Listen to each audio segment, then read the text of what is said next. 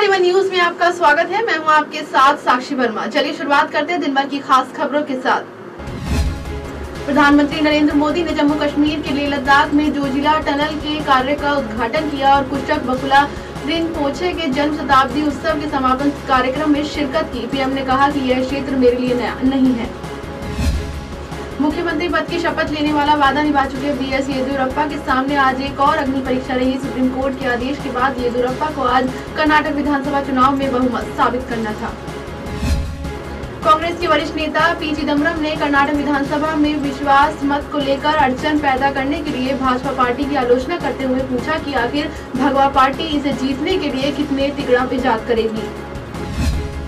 Pro tem speaker के तौर पर केजी बोपैया की नियुक्ति को चुनौती देने वाले जेडीएस कांग्रेस की याचिका को सुप्रीम कोर्ट ने खारिज कर दिया है। कोर्ट ने कहा है कि बोपैया का पक्ष सुने बिना कोर्ट उन्हें हटा नहीं सकता। इसके बाद से अब ये तय हो गया है कि केजी बोपैया प्रोटेम स्पीकर बने रहेंगे।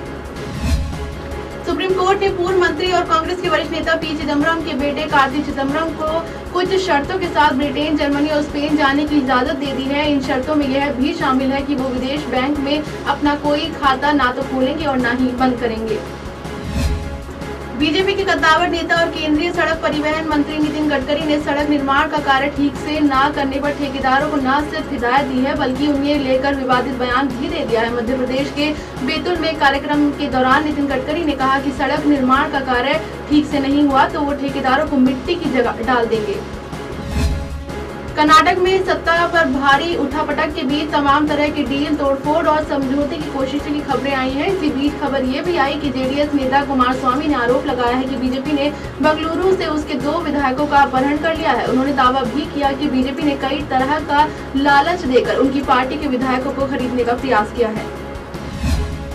चक्कर आने की शिकायत के बाद आज राज्य सुप्रीमो लालू प्रसाद यादव को पटना स्थित आईजीआईएमएस हॉस्पिटल के स्पेशल वार्ड में भर्ती कराया गया, जहाँ उनकी प्रॉपर जाँच की गई। लालू प्रसाद के फैमिली डॉक्टर ए के सिन्हा ने बताया कि फ़िलहाल लालू प्रसाद की स्थिति सामान्य है।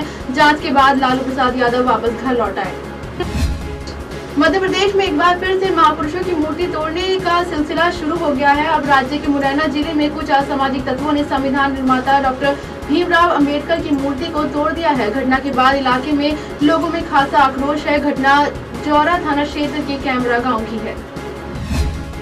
मध्य प्रदेश में चुनाव से पहले अच्छे दिनों को एहसास कराने में जुटी शिवराज सरकार ने अब अपना रुख केंद्र सरकार की योजनाओं पर कर दिया है। इलेक्शन इलेक्शन में आए शिवराज ने राज्य में विकास के लिए अब टी पार्टी को ज़रिया बनाया है। मुख्यमंत्री ने सीएम हाउस में केंद्रीय मंत्रियों को टी पार्टी के बहाने चुनावी इस साल में प्रदेश भर में केंद्र मदद दिलाने और लंबित प्रस्तावों को हरी झंडी दिलाने पर चर्चा की। पीएनबी घोटाला मामले में फरार चल रहे नीरव मोदी पर ईडी ने शिकंजा कसा है? ईडी ने फरार चल रहे नीरव मोदी कारोबारी के पिता और भाई सहित परिवार के कम से कम चार सदस्यों और उसके अमेरिकी व्यापार साझेदार को दो अरब डॉलर से अधिक के पीएनबी धोखाधड़ी से जुड़े एक धन शोधन मामले में सिलसिले में समन भेजा है। नोएडा क्राइम ब्रांच में स्थानीय कारोबारियों से उगाही करने के आरोपों के बाद उत्तर प्रदेश पुलिस की छवि को गहरा धक्का लगा है। उगाही की रेस लिस्ट सामने आने के बाद पूरी क्राइम ब्रांच यूनिट को भंग कर दिया गया है। अब नोएडा क्राइम ब्रांच अपने ही पुलिस कर्मियों के खिलाफ सख्त हो गई है और भ्रष्ट पुलिस कर्मियों की पड़ताल की जा रही है। गौतम बुद्ध नगर के एसएसपी भी महकमे के भ्रष्ट पुलिस कर्मियों के खिलाफ कमर कसते हुए बीती रात सादे कपड़ों में औचक निरीक्षण करते नज़र आए।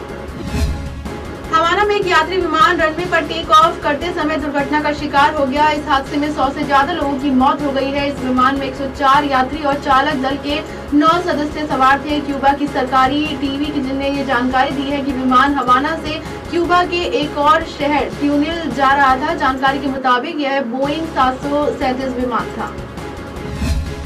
पाकिस्तान में ईसाई समुदाय के 24 युवकों को गायब करने का मामला सामने आया है। अल्पसंख्यक ईसाई समुदाय के नेताओं ने कराची इंस्पेक्टर जनरल ईस्ट कार्यालय के वरिष्ठ अधिकारियों से मुलाकात की। नेताओं ने कहा कि लापता युवकों के परिवार वालों का आरोप है कि युवक के लापता होने का सिलसिला 30 मार्च से शुरू हो गया था। इस दिन लगभग छह युवकों को उठा लिया गया था। ऐश्वर्या राय बच्चन ने पिछले हफ़्ते इंस्टाग्राम पर डेब्यू किया कांस फ़िल्म फेस्टिवल में रेड कॉर्पेट पर शिरकत करने के बाद वह इंस्टाग्राम पर आ गई। तब से अब तक वो कई खूबसूरत तस्वीरें अकाउंट पर शेयर कर चुकी है। अब उन्होंने ज़्यादातर तस्वीरों में वो आराध्या के साथ नज़र आई है। अब उन्होंने अपने अकाउंट से एक और तस्वीर शेयर की है, जिसे सोशल मीडिया पर काफ़ी पसंद किया जा रहा है। दिन भर की खास खबरों में साथ सिर्फ़ इतना ही। देखते रहिए एवन न्यूज़